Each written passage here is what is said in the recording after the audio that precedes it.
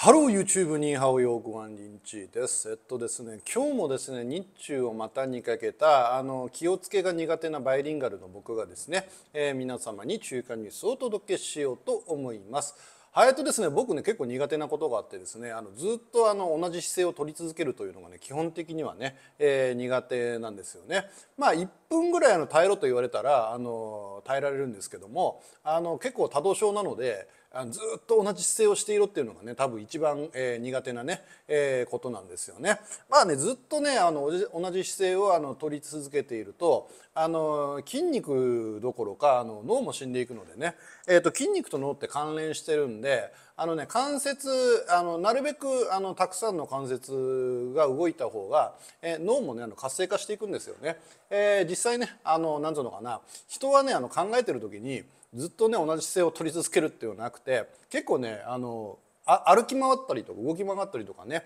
えー、するしてるんですよねあの考える時にはね。これ実際ね実験であるんですけどもあの脳を動かさない、えー、ハーバードかなんかの実験かな、えーと、脳を動かさないでいいようなあのアニメを見てる時っていうのは結構人間ってあのじっとしてるんですって。でそれでねちょっと脳を動かさなくちゃいけないような、えー、コンテンツを見てる時って結構うねうねうねうねねあの動いてるんですって、まあ、そのぐらいねあの関連が、えー、ある、えー、ものなんでね。はいえっとねあの今回のね中華ニュースなんですけどもえっとね中国国内ねあの大学に入る時にねあの軍事訓練というものが、えー、行われるわけなんですよ。えー、そこでですねあの、まあ、今回、えー、トンジーダーシュへということで、えーとねまあ、同済大学、えー、同済大学というところでこの同済大学っていうのはですね、まあ、いわゆるあの日本でいうところのあの、まあ、関西のトップレベルの大学みたいな感じですね。えーとね言うなれば同志社でいいや。同志社ぐらいの、ね、大学。まあすごく頭のいい大学なんですけども、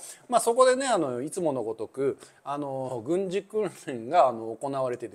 ていてですね。えそのねあの軍事訓練があまりにもねあの形式え主義的でですねあの非常にあの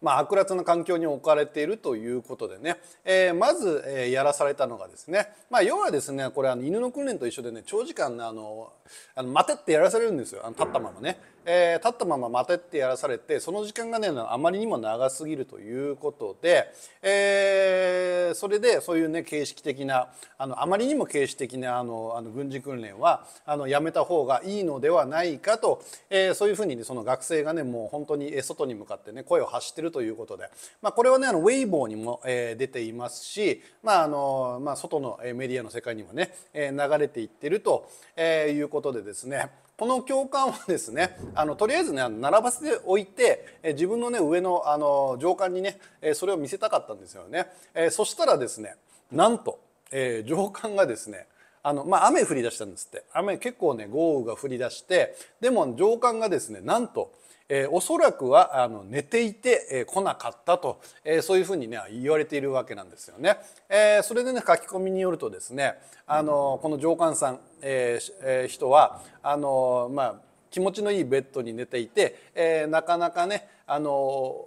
あの気もあの起きないんでしょうねとかね。あの上官があの寝ているんだったら、えー、なんでねそういう通知が来ないんだと、えー、いうことでですね。あの、まあ、来ないんだったらねあの、まあ、まだ通知しろと、えー、いう話ですね。まあ、それでねあの豪雨、まあ、この話だとね豪雨の中ね、えー、長時間立たされてあの靴の中でも魚が飼えそうだと、えー、そういうふうにねあのなったということでね、えー、それでねあの中にはですねこれ何なのか分かんないんですけどもえっとね1日目もう30人ぐらいがですねあの熱中症であの倒れたと、えー、いうことでですね、まあ、非常にあの、まあ、だから多分ね倒れるまでやらされてるんじゃないかなと、えー、それで、ね、ずっとねあのあ雷すげえあのそれでねあのなんつうのかなえー、まあまあ30人、えー、倒れたと。えー、いうことでねあの本当にねもう形式主義だということでね、えー、それでねあのなんつうのかな、えー、軍事訓練に対して、えー、支払ったねあの費用費用が発生するんですね。あの費用というのが非常に高くて、ね、多分ねその服とかねあのそういったものなんじゃないかな、えー、そういうのが非常に高すぎるということ。雷すげえな。あの高すぎるとえいうねえー、文句が出ていてですね、まあ、それでねなんかなそんな時間があるのかどうかあの分かんないんですけども、まあ、誰かがねなんかこうなんていうの学生に喋らせる、えー、講演させる時間があってですね、えー、そこであのえっ、ー、とね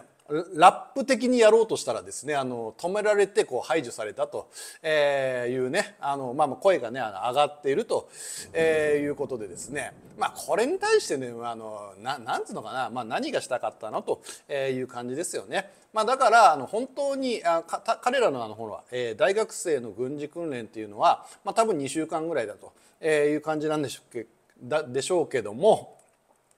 あのねまあ長期的にあのちゃんとあの軍事訓練すると軍人になると、えー、してですねあのそうやってあの、まあ、ちょっと厳しい訓練をするっていうのは僕はいいと思うんですけども、まあ、とりあえずねみんな適性がわからない普通の学生なわけなんですよ。でこの前このこの、えー、前までねあの大学受験していたあの貧弱、えー、君の可能性の方がねあの高いんですよね。えー、それでねあのなんつうのかな。まあそれだったらほら少しずつさあのほら訓練のえー、強度を上げていって慣らしていくっていうのが僕はねあの、まあ、人道的だと思うんであの僕なんか人にね何かの訓練しろってあの言われたらですね、まあ、結構体力的にはね楽なことやらせるんですよね。あの技術を、えー、教えていってあの技術がを学んでいく中であの技術が確実になっていく中で、まあ、自然にねあの体力が上がっていったらいいねと。まあ、だからなんかねあの終わった後にあのぜいぜいはあはあ疲れたなとぐっすり眠れるようなことは、